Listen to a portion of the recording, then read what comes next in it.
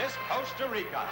Hola, muy buenas noches a todos. Mi nombre es Maribel Fernández García y soy portadora de un cariñoso saludo de mi país, Costa Rica. Gracias a todos. Buenas... Maribel Fernández.